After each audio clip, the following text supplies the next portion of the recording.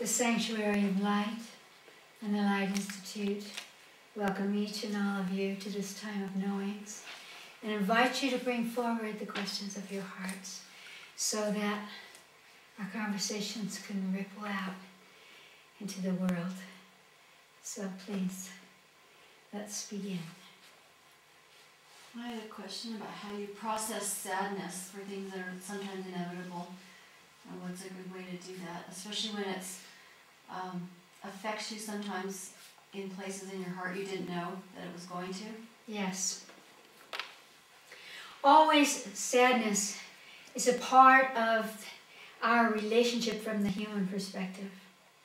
And what's important is to look at our lives and the people in our lives and the, and the things that happen to us from a spiritual perspective. Not trying to disengage or look intellectually from a lofty position, but from an expanded perception that allows you to see that there is purpose in all that we experience. And we, we might say, oh, it doesn't have to be that way, or, or I don't want to see somebody hurt. Um, but we cannot know how their soul uses the energy because we think of ourselves only as humans with human emotional hearts. We are so much, so much more. My higher self has always said uh, to expand your energy. Uh, if there's a sadness in your heart, uh, move into it. Don't deny it. Move into it and see what it's about. In the same way that when people die, our sorrow is usually about us. We're the ones with the hole. The rest of the guys are free, you know. And so we, we want to be able to see what the story is for us that's creating the sadness. Sadness is very addictive uh, because it lulls us into a place of non-motion, you know. Um, and so again, sadness has its place as it identifies um, our relationship, our relationship to love, to health, to uh, the world around us. Uh, but again, the sadness comes because we don't see the purpose. We don't see that um, there is nothing supporting um, hurt uh, or pain. Uh, it's, there's, there is no great being inviting that. God is not saying you need to be punished, you need to suffer. Uh, and so we want to begin to shed from us the layers that lock us into those perceptions. Because if you remove the sadness, you can find a layer of illumination. And through that layer of illumination, you can take yourself out of the sadness and also whomever else is uh, tied into that sadness yourself. Um, it's, it's just like pain or, or anything. How we focus on it describes how long it lasts and its effect on us. And so we want to focus on it not from a place of running away, but from a place of clarity. It says this is what this is. And then, when, when you've looked at those places that are hiding in your heart, I would recommend washing the heart. You know, the heart muscle is surrounded by a liquid filled sac called the perineal sac. Not the perineal sac, the pericardium sac. perineum is down here. The pericardium sac. Just like a baby in the womb. That's why I'm thinking of that. Baby in the womb that cushions the heart from the bruises of life. So when you feel a sorrow deep, deep in your heart that, that comes up and surprises you, um, after you meditate on it or or uh, ask it what color it needs to be released, or shift your energy from sadness to where am I holding courage or illumination or joy, so that you rebalance that. Then just imagine, and we'll do this exercise right now because it's, it's important for physiological health, it's important for emotional health. Um, in Chinese medicine, we call it the emotional heart, the pericardium.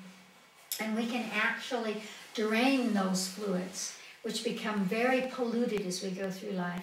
Every time the, the arrows of, uh, of life strike you, it creates a poisoning in those liquids. And we can drain that away and put fresh, protective, nourishing liquids into the pericardial area uh, to support who you are.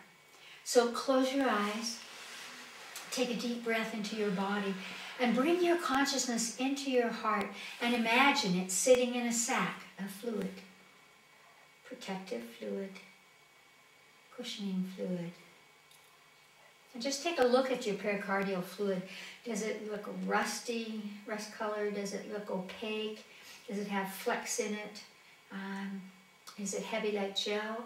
Just let your heart show you that pericardial fluid at this moment.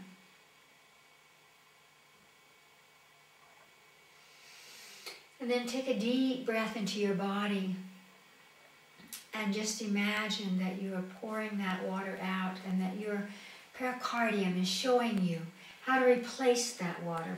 Perhaps you see your heart in the sea or in a lake or under a waterfall or, in a shower. Just take a deep breath and let your body give you an image of replacing those liquids, those fluids. so that you're washing the heart and then you're filling that pericardial sac with fresh, clear life force energy. Just breathe deeply in. Wash your heart. Fill the sac.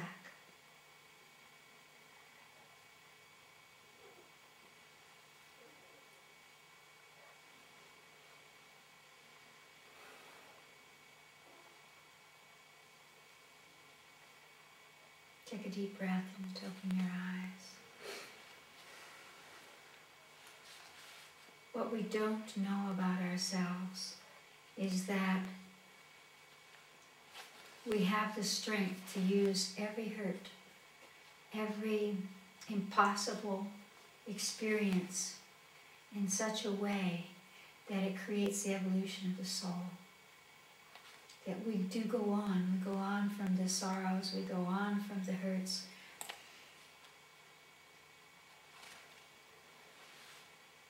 So it's very important to connect in to that energy in you that is not that. That is not that. If, if the sorrow is because someone else is hurting or someone else is sick or someone else is left, I'm, you don't, you're not really helping them you're not helping them. And that's okay. But if we allow sadness to take hold, it becomes uh, like a heavy incrustation. And then we pass our life through that, that heaviness. And we associate through that. And then we expect the hurt again and again and again the best that we can give this world at this time is a sense of joy, a sense of change, a sense of possibility, that there is no scar uh, that needs to last a lifetime.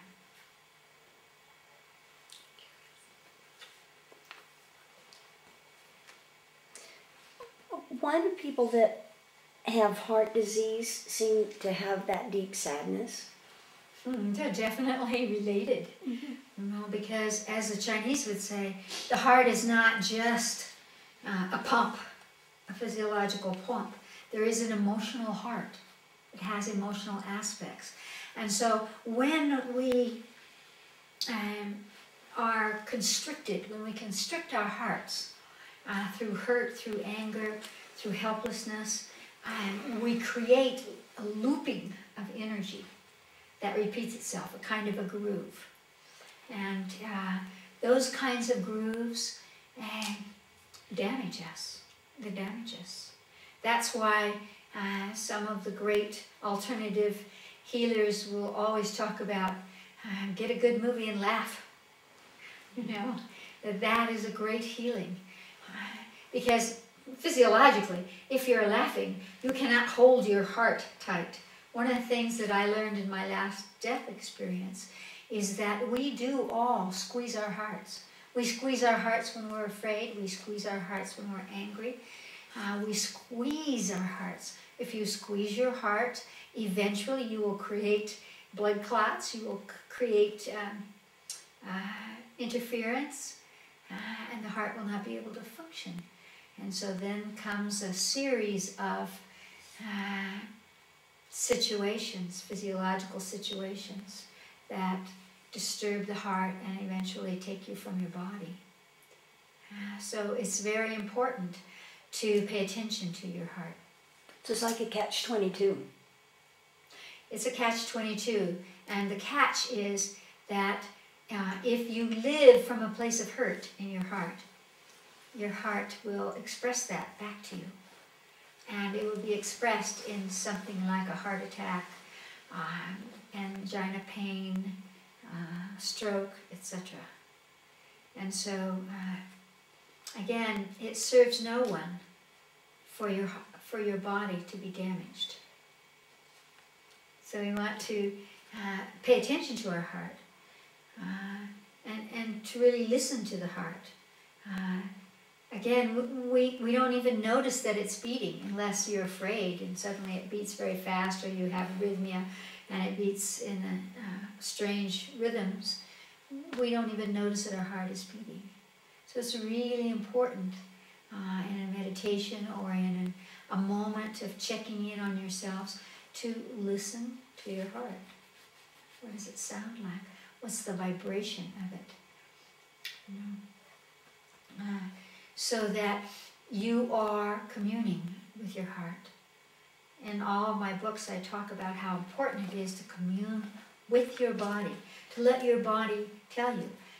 Your, your heart will tell you what that deep sorrow is, what that deep sadness is. It'll take you right back to the beginning. And you might be surprised that that sadness isn't even yours. You may have made a contract with your mother or your father or your grandparent when you were in the womb, when you were a month old, that said, I will take the burden of your sorrow. And it sits in there until you grow older, and then it cannot be held in your heart any longer. So, whenever there's something, uh, a, a, a sadness or a pain or something odd that's going on in our emotional body or our physical body, I always recommend saying, Is, is this mine? And you will be shocked at how many times it is not yours. Therefore, you can use the awareness to be part of your purpose. To whom does this belong? Even if you don't get the name or it's not somebody you know, the moment that you can identify it's not yours, you can begin to draw cosmic energies through you to support whoever is suffering from that. Again, whether it's a physiological thing, it's an emotional thing, it's a spiritual thing, it's a mental thing. And it allows you to lift up because we all come with one hinge uh, that opens the door of, of evolution, and, and that is the purpose of giving the self.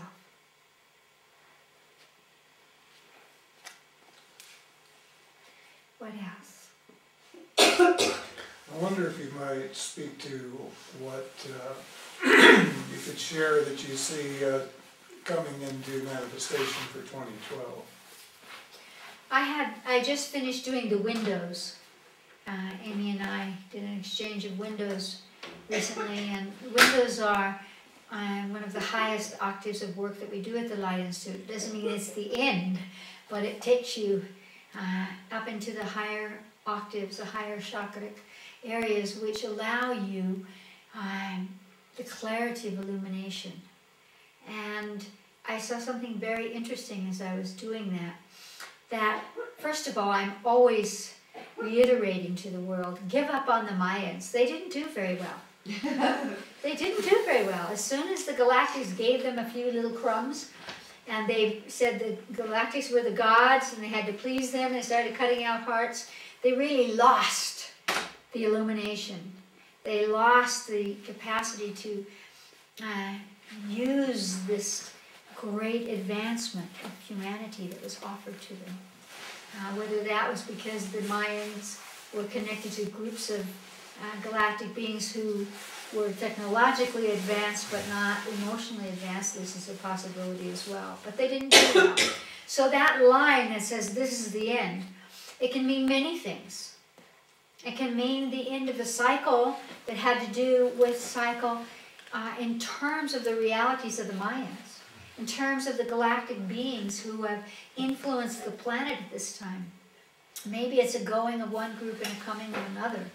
Uh, I definitely feel that what's going to happen in 2012 is happening now um, and will happen past 2012 is a ripple of consciousness that's coming from other realities, from other earths, quote unquote, that will support our catapultic leap in consciousness. So what I saw in in a session that I did was a sort of a curvature whereby by releasing some galactic energy from inside the earth, the earth tilted and as some old energy was released, new energy came in. And uh, we're going to have at the end of February our first intensive here in Galisteo. And after my window sessions, I decided that the theme of that intensive is going to be freedom. Freedom on all levels of our beings. Freedom from our bodies, freedom from our relations, freedom from our uh, finances, freedom uh, as humans, freedom in all of the ramifications because that's what we need to make that catapultic leap. And it's not going to be from a flat closure. This is the end to a beginning because endings and beginnings never are never like that. Mm-hmm. They are always a bleeding in and a bleeding out anyway. They are always an infolding in the same way that our universe infolds in other universes. And so, uh, what I would say in 2012 is it's, it's a time that is very important for us to, as my higher self says, dream ourselves awake, which means to have time to go inside and to call to us energies that our higher self can bring to us that illuminate the direction uh, of our choices. And so it's an exciting time, but it's not the end or the beginning or anything like that. Uh, it will go on. Will there be earthquakes or this or that? Well, yes. Haven't there been in the last few years? You know, they started talking about the the time of uh, the Aquarius uh, epic quite a while ago. Uh, all of those things are there. It's not whether we can avoid, and this is a great message, a great teaching that my higher self has given me in terms of life. It is not about avoiding the uh, blockages or the stepping stones or the experiences. It's about the grace with which you embrace them. And so, what will happen in 2012? All the things that have been happening in 2011, but better. Uh, 2012 is a five year, not a four year. So, I think there'll be actually less struggle, more freedom, especially if we put our consciousness to that, you know, and invite in energies that will support us at uh, being able to contribute. And the most powerful way of contributing, certainly at this moment, is not in the doing, it's what is held in the consciousness. And if we are capable of holding this incredible turning point, it's going to be an exciting year because um, there are energies that are awaiting us. Some of them are in the Devic kingdom, some of them come from animals, some of them come from the stars, some of them come uh, from other uh, stratification, other realities, whether you want to call those other worlds or other realities. They are waiting for us to pull away the veil. It is not difficult to pull away the veil. It simply asks you to focus on that veil and be willing to pull it aside. So I think it's going to be uh, uh, a great um, peeping through the windows possibility in this next year, only as a beginning. I think more things will happen in 2013, 2014 than actually in 2012. Uh, but it's a wonderful time uh, for us to say, what do we want it to be? What do we want to be as a species? What do we want to be as individuals? Um, what whispers to us that has to do with our purpose? Uh, so I, I think it's important to put our energies away from resisting and, and contracting because if you contract, uh, you will be a magnet to all the things you're afraid of. And this is why it's such an important year for freedom and for releasing our fears and to feel what it's like to pass through the illusion of death, for example.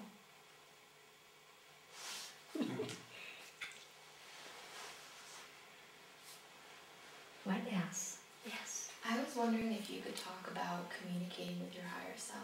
Yes. The first thing that I want to say is that all of the history that we have has said we haven't the right to whisper to ourselves of our own divinity, as if to talk to God or to talk to a wiser being, that there is always a struggle, that you have to you have to forfeit something to be worthy. And all of that has to do with the human evolution. Uh, those are all thought forms that humans have created to, to basically have control over each other. Your higher self is the energy of your soul that accompanies you in body. So it's always talking to you anyway. It talks to you in your dreams, it talks to you in your intuition, it talks to you when you go, mm, I think this, No.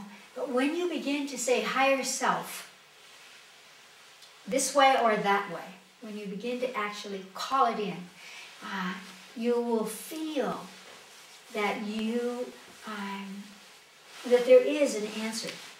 The higher self doesn't necessarily answer you in sentences. yes, do that. it may answer you and suddenly you open a book and and there is a point of illumination. Or you're listening to a movie and suddenly somebody says something in the movie that triggers a point of association for you. What's important is to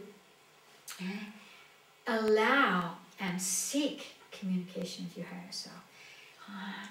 When, when you go to bed at night, especially, and when you get up in the morning, higher self, touch my body. Higher self, what color do I need right now? Higher self, come into my body. Uh, doing those kinds of things will suddenly allow you to begin to feel as if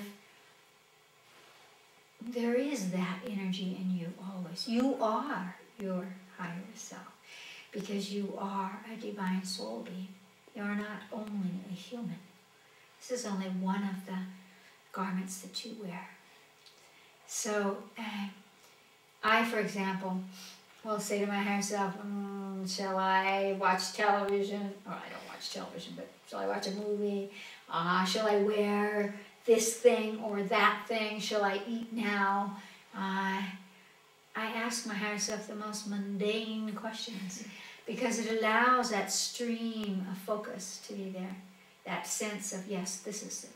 One of the things that I will say about asking your higher self is if your higher self says, yes, do this, do it. Uh, initially, I used to often try to out second guess my higher self uh, because it so often will give you the hardest answer. You know, face up to the to whatever has to be faced up to, or or go in this direction. And I would say, no, no, no, but that's going to be a lot harder.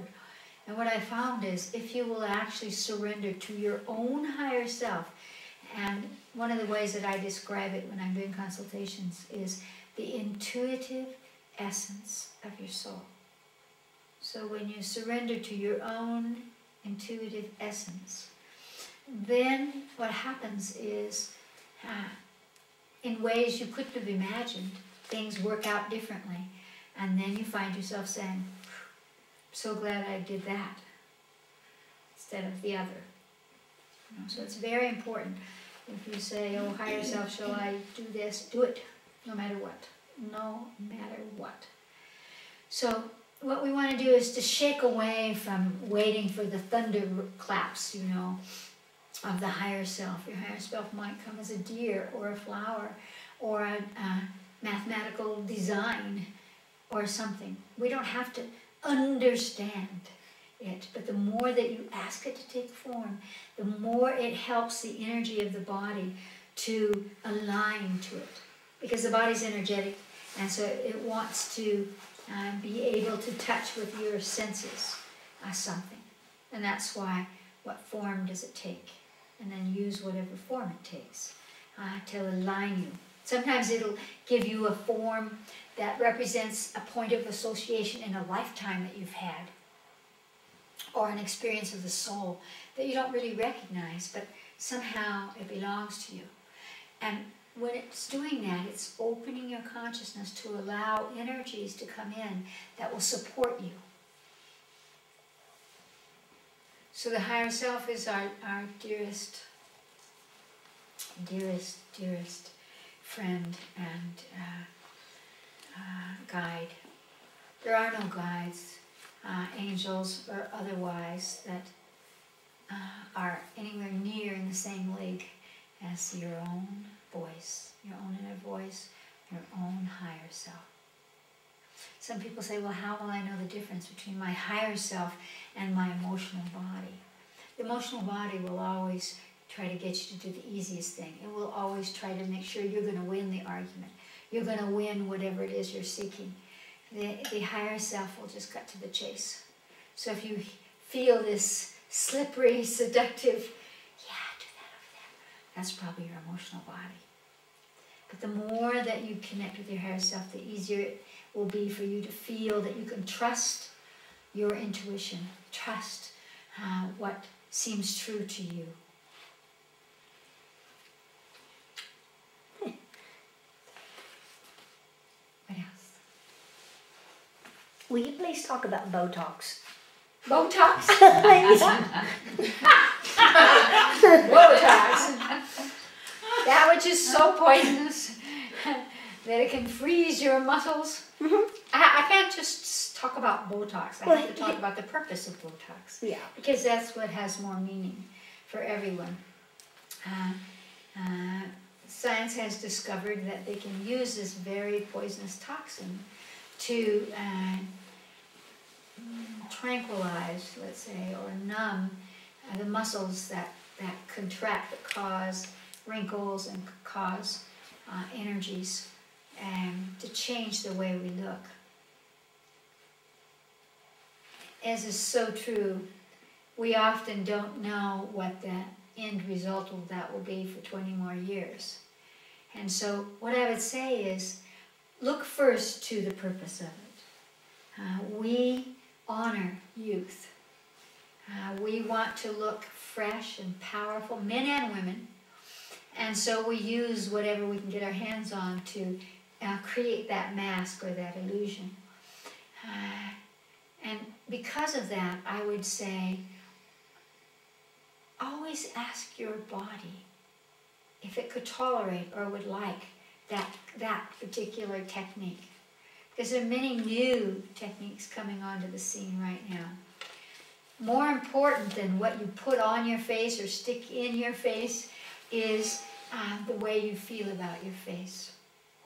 Uh, in the same way that in Avalon, in the myths of Avalon, they talked about how they could change and and give the impression of being a, a virgin, a young maiden.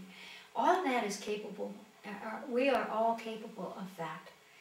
We want to look at where is the hurt or the sadness or the fear that's inside us that brings us to that point. Shall I use Botox? I would say that anything, anything that makes you feel uh, powerful, desired, uh, willing to be visible, uh, is okay for you. It's okay for you. But I would always suggest that you uh, do consultations at the Light Institute or do, or do sessions at the Light Institute so that you really can align with your body in that way, whatever you do will become much more successful. Much less uh, possibility of disasters uh, when you are attuning to your own body. And then anybody who is doing anything to your body, to always send light to them, always send energy to them so that they are not thinking about their own world, but they are totally focused on the perfection of their art. And people, uh, when they go to a doctor, whatever kind of doctor or healer, they, they always want to give up the self and let the other person do it. No, you have to actually guide the other person so that the other person does it well for you and can pay attention to you. That's very, very crucial in this whole dance. So, um, I think that uh, in the near future they'll come up with better things than Botox. um, we all need to feel better about ourselves. We all need to release the primordial conclusions that if you age, you will no longer be desired, that you will not have a place, that you will not be chosen, and, and your conclusions about what that means. Who needs to choose you is you. And once we choose ourselves, then we seem radiant and magnificent to others, no matter what's going on in our faces or our bodies. And so I would always say, do a little homework. And that homework is not just about what kind of poison is this. And it's about how, what's my story? What is my story here? And how do I, how do I work with my body to bring it uh, into that alignment that makes me feel secure So the thing is, it's so poisonous that your liver has to process that, that out, right?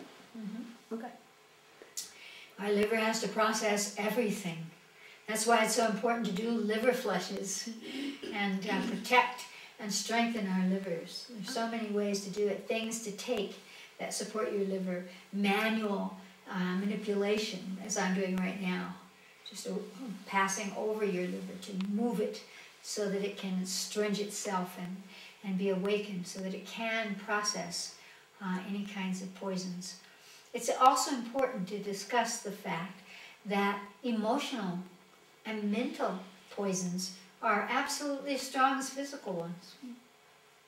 Our liver is the organ of purification, emotionally, spiritually, physically, mentally, on all levels. So uh, it is uh, the most important organ of the body. The body cannot survive without the liver.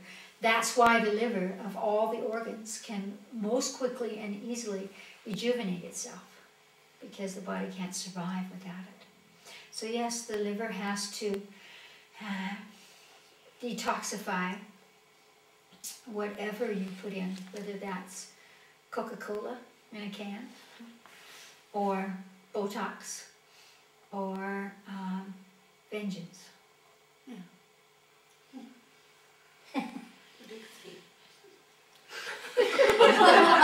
oh, we all know that, Larry, don't we? I love that word in Spanish. In Spanish, venganza. Venganza has a lot of power.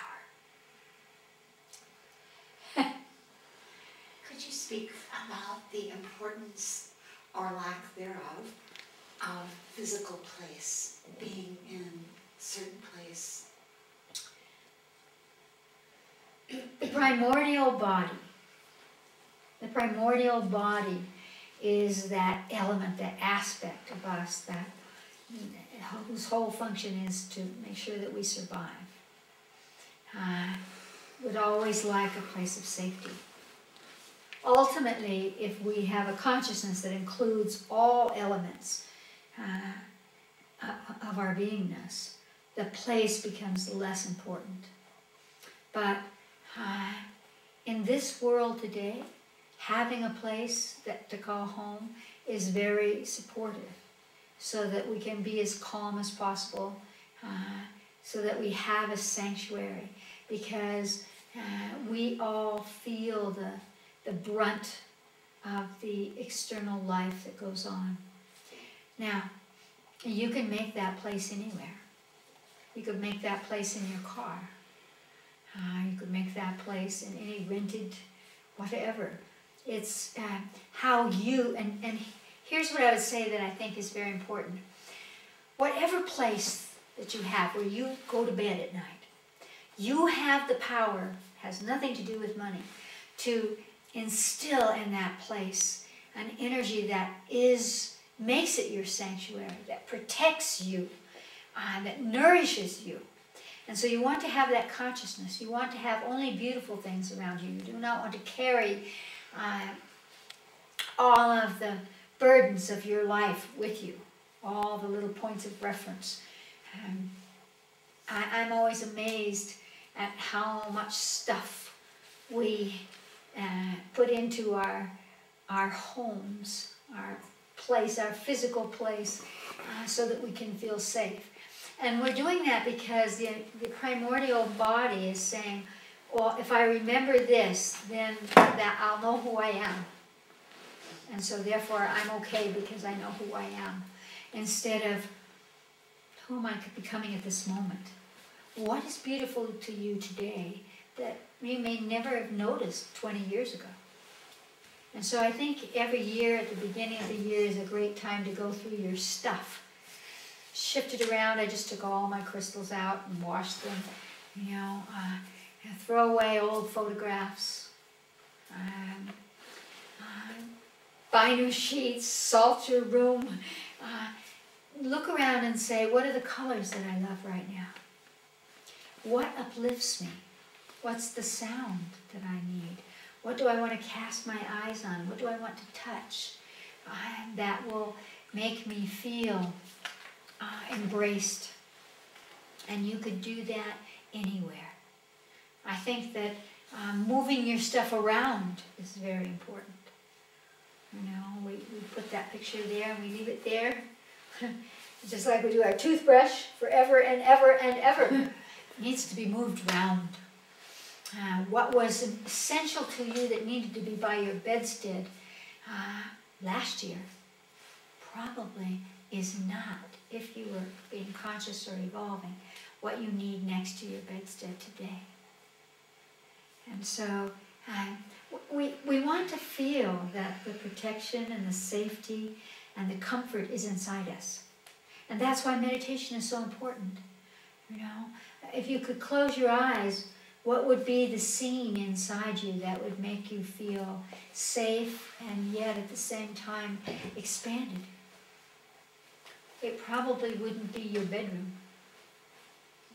It would, or anything that you have in your house, you know, even an artistic painting.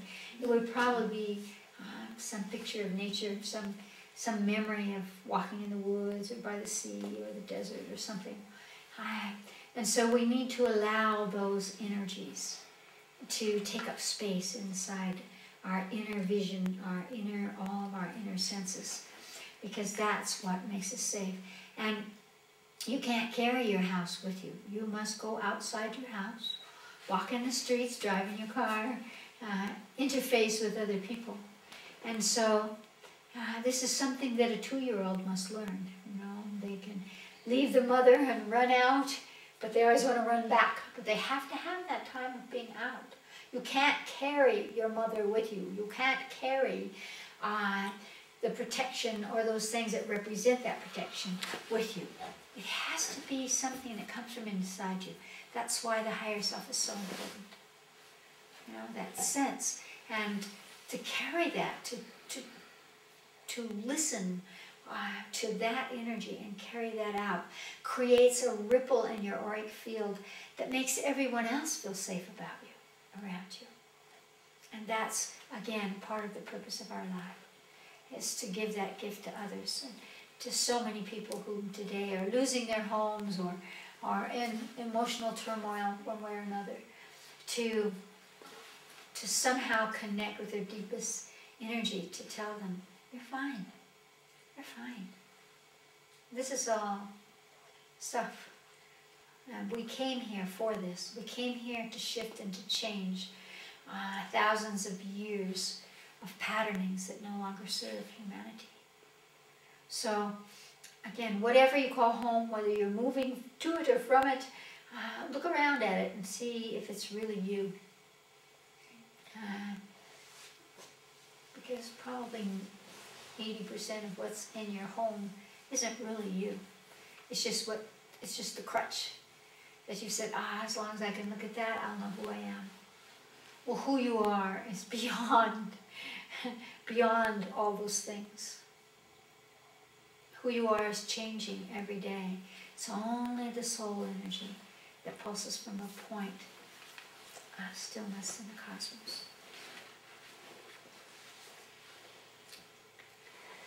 Oh, many years ago, you were giving a talk to a, a group of uh, uh, elderly people from the, the home in um, Las Cruces, Yes. and you you just made the most brilliant statement. Like you said to them, "You are your own safe haven."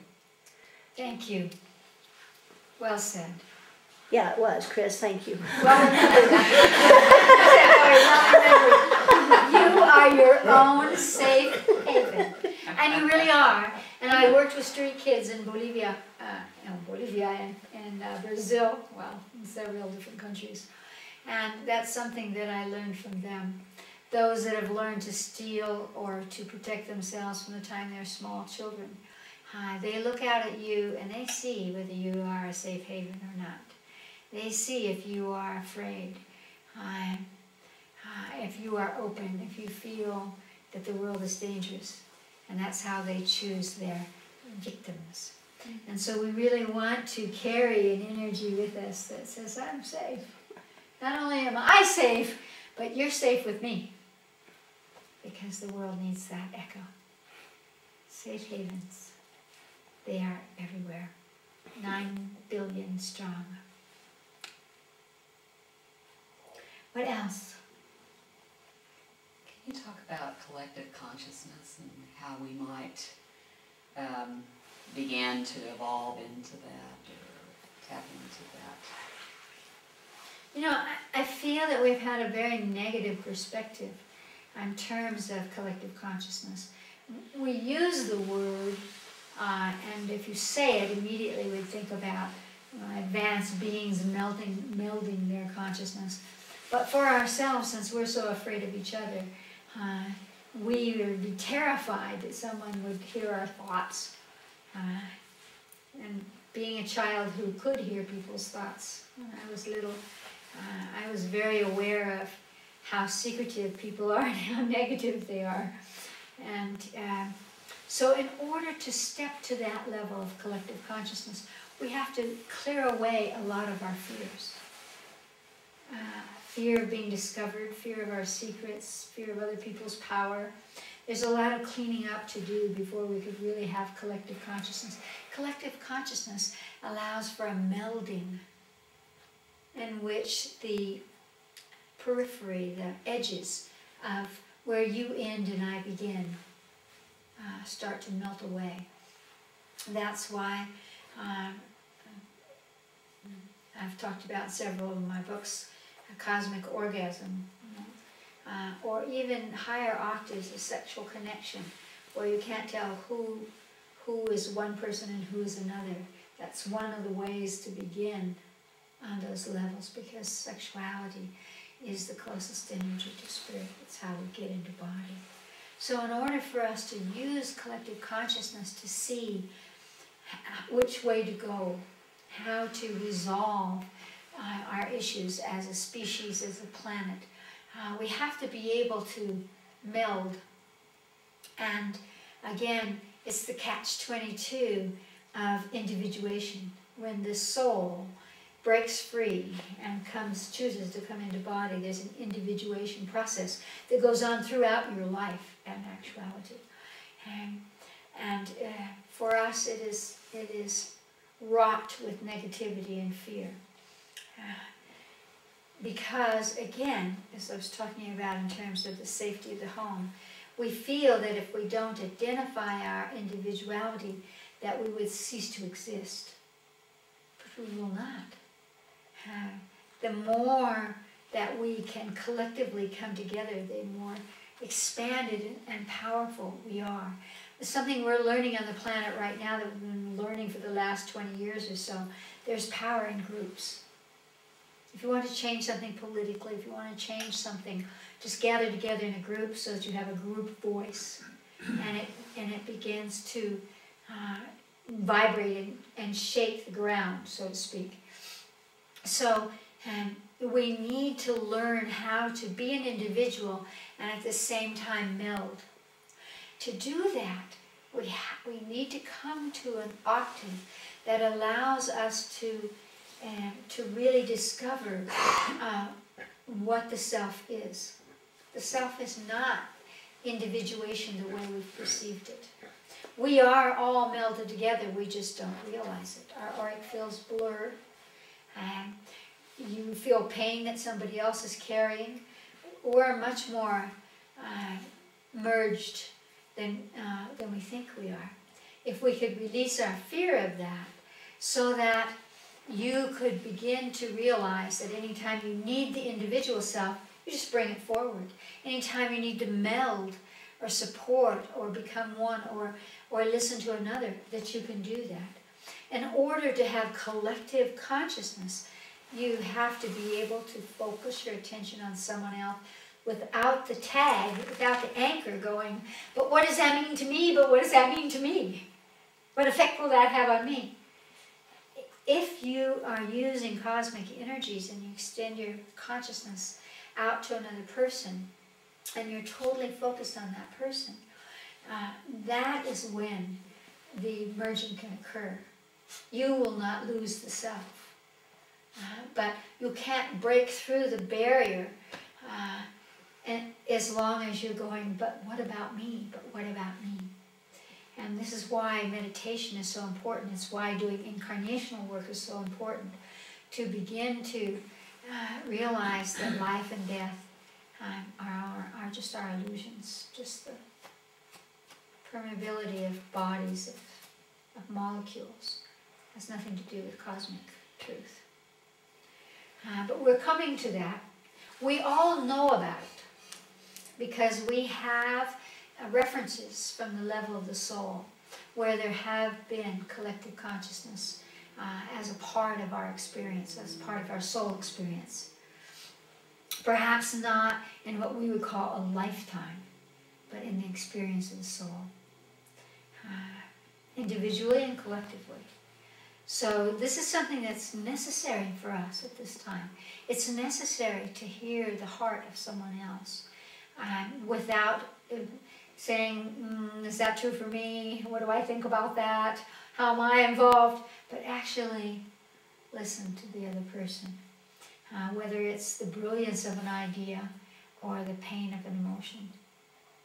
And in that way we can begin to uh, move in and out of each other in safety and uh, in the evolutionary process.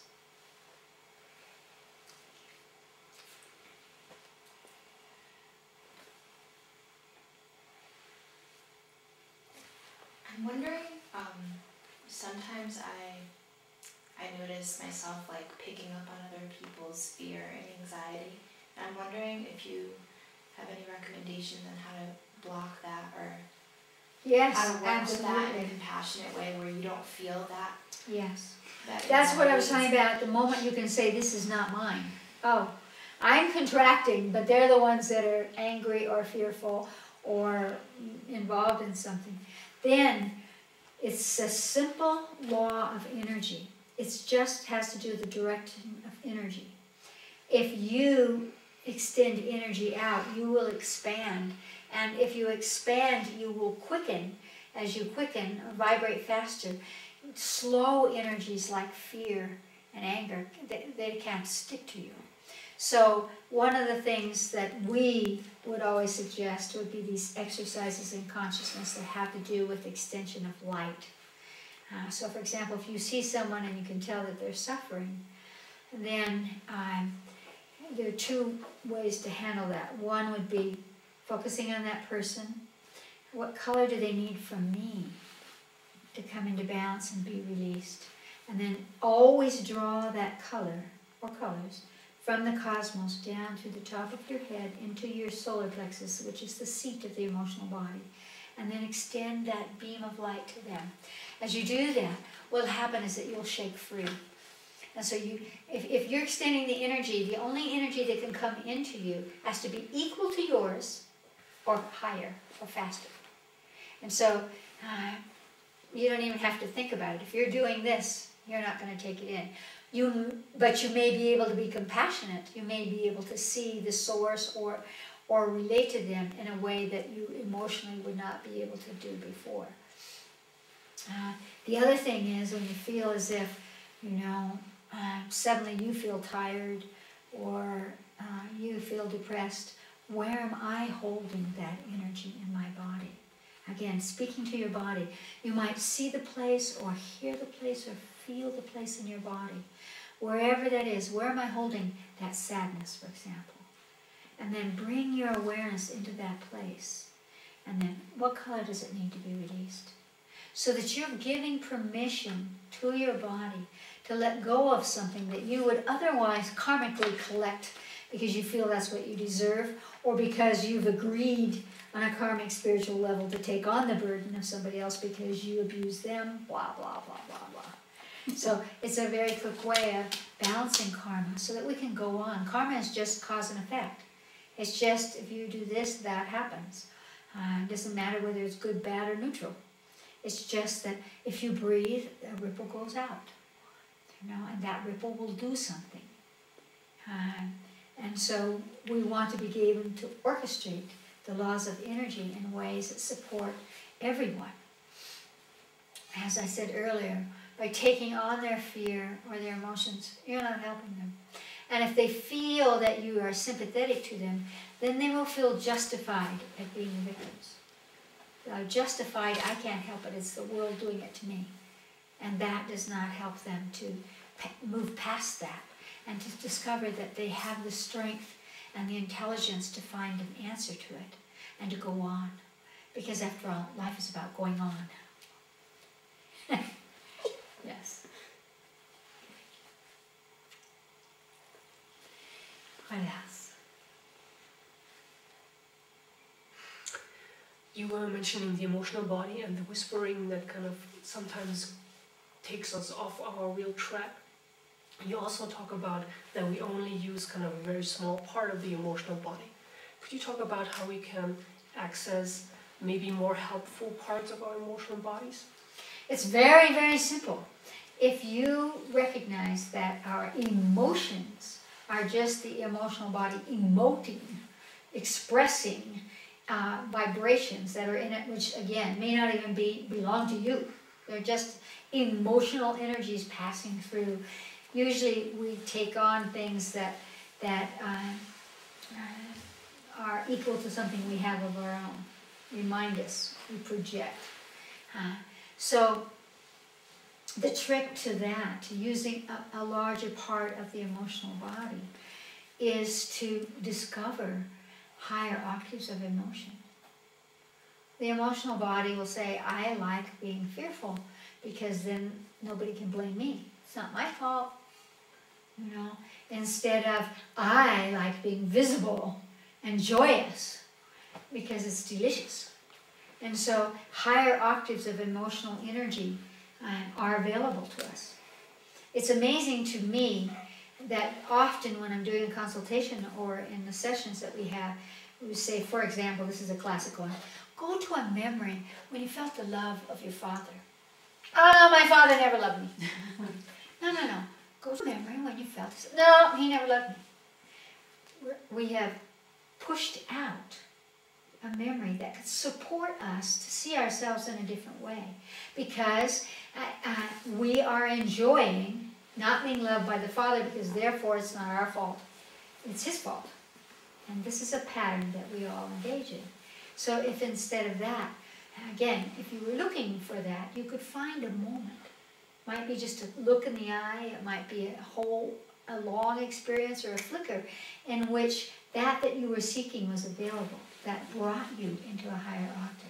So with the emotional body, we need to discipline ourselves to say, what's the energy? And we're going to do this right now.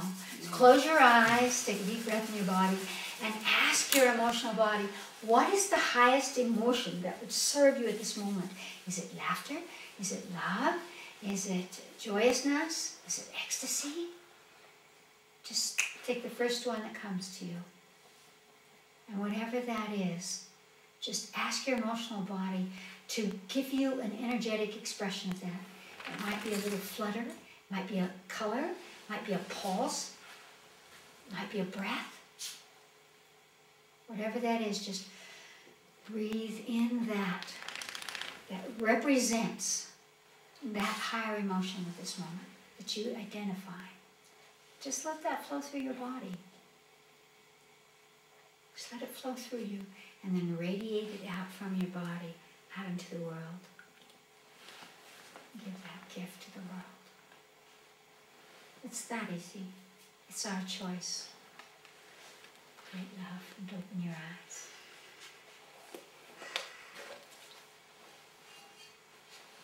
What'd you get? Um, I saw myself dancing, Uh-huh. and it was this this this, this yellow white sparkling energy all around. It was very Great. beautiful. Great. So why would you choose anger and explosive blah, instead of that? Uh, Yes? You have one minute. For a minute, I thought you were telling me it was over. Oh, somebody else. What did you get? What did you get, Bruce? I got a symphonic crescendo that in sound Yes. that just represented sort of explosion, birthing, and um, coming forth into freedom and power for everything. Fantastic. Hmm. See, all of those senses that we have can, uh, can give us infinite points of reference to higher emotional uh, energies that belong to us, that nourish us. So, um, if we can access all these these high frequencies, does that mean that we that we really know the whole thing of the emotional body? It's only that we only use a part of it. Yes, but knowing something, that's an illusion. because there's always evolution. Okay. So, what is the ending and the beginning? Not so. It stretches with your capacity to imagine, to focus. And the more we go into those higher, the more we can go higher. That's right. And there's no ceiling. Blessings.